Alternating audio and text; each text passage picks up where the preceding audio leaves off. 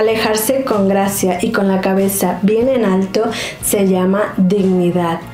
Hoy te voy a decir cinco sentimientos que sentimos las mujeres cuando no nos buscas, no nos llamas y no nos hablas. Pero antes, suscríbete a mi canal recordarte por qué habrías de hacer esto, por qué habrías de alejarte de una mujer. Pues la razón principal es por tu paz mental. Y la siguiente razón es porque es una mujer que no te valora. Con lo cual, si tú lo que quieres es saber qué es lo que ella va a sentir, pues te lo voy a decir hoy en este video.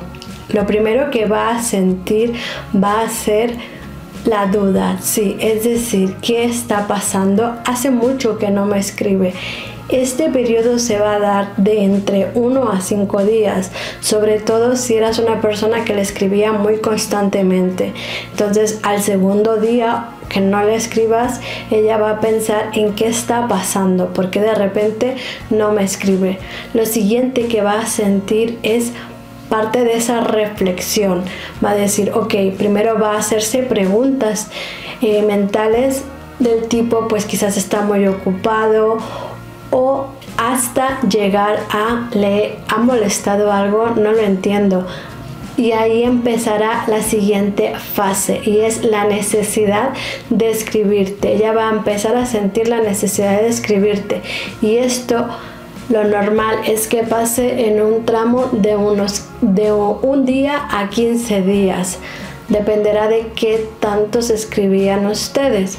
En esos 15 días ella te va a escribir y parte de lo que puede aplicar para escribirte, para llamar tu atención de nuevo, es la estrategia de activar tu modo superhéroe te la explico. En los canales de seducción que van dirigidos hacia las mujeres, se dice que si quieres que un hombre esté a tus pies, actives la estrategia superhéroe, que incluye pues pedirte un favor en el que tú de alguna manera puedas mostrar una habilidad y te sientas a gusto por haberla ayudado y que ella encima agradezca esa habilidad con lo cual que no te extrañe que ella te escriba pidiéndote un favor. Esto puede que lo haga de forma consciente o inconsciente. Primero puede que te pida un favor más que nada para tantear cómo estás. Obviamente no va a escribirte y directamente pedirte un favor, sino lo primero que va a hacer es escribirte y hablarte para saber por qué ese distanciamiento, por qué no le escribes. Esto en el caso de que sea una amiga que en el que te encuentras en la friend zone. Si es una persona que has dejado la relación con ella, es decir, tu novia con la que acabas de terminar o tu esposa, ella lo que va a hacer en este proceso puede que sea mucho más distante en este tiempo, con lo cual puede que ella te escriba para saber un poco cómo están las cosas y te escriba pues a lo mejor por motivo de los niños, ¿no? El punto es que si tú eres un hombre que has aportado valor a su vida, ella va a buscar de alguna manera volver a traerte, a volver a tener de alguna manera ese apoyo que tú le estabas dando, ya sea emocional, ya sea económico, que la escucharas, que la comprendieras, todo eso ya va a querer sentirlo.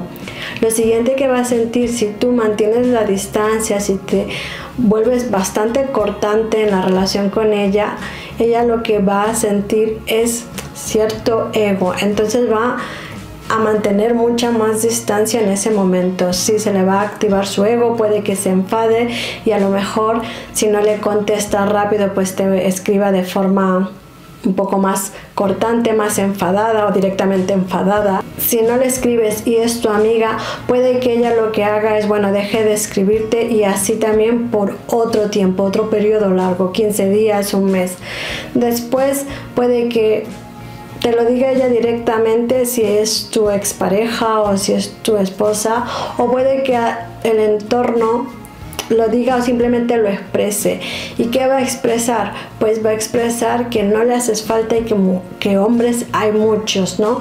Con lo cual va a empezar a sentir la necesidad de buscar validación masculina con otros hombres. Y en ese periodo es en el que se encuentran muchas mujeres de estar saliendo de fiesta con uno, con otro y con otro.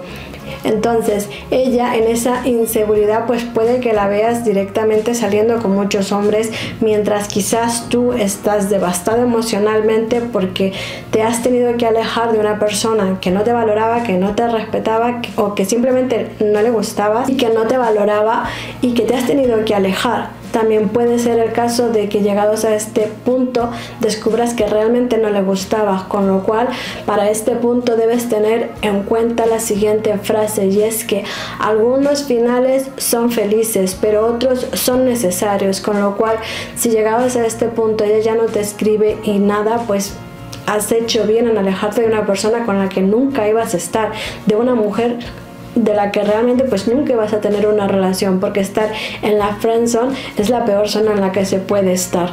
Así que hasta aquí llegaría esa sentir de ella y ya está y no habría más vuelta. Y el siguiente punto ya para relaciones donde es tu exmujer o es tu pareja o tu exnovia sería que ella una vez que sale con todos estos hombres empieza a sentir la comparación, es decir, empieza a darse cuenta que el hecho de tener muchos hombres que la pretendan o el hecho de coquetear o acostarse con muchos hombres no le está dando realmente el valor que tú le estabas aportando a su vida. Con lo cual, si tú eres un hombre que le ha dado todo y que le ha aportado todo, va a empezar a extrañarte, va a empezar a darse cuenta que no era tan fácil encontrar otro hombre eh, como tú, porque hombres hay muchos, pero no con tus valores o no con la forma en la que tú la querías a ella de verdad. La querías bien, como se suele decir, ¿no? Y una vez que ella pase por esta fase es cuando va a llegar el arrepentimiento. Suele llegar bastante tarde, como casi todas las cosas, con lo cual esto es lo que ella va a sentir y que tristemente no te sirve quizás de mucho darte cuenta que va a pasar por todo un proceso hasta que llegue al punto del arrepentimiento, pero sí es importante que tengas en cuenta que vas por el buen camino, que alejarte de una mujer que no te conviene, que no quiere estar contigo, que te mantiene en la friendzone, que te ha hecho daño, que te ha sido infiel, no sé cuál sea tu situación, es lo mejor que puedes hacer.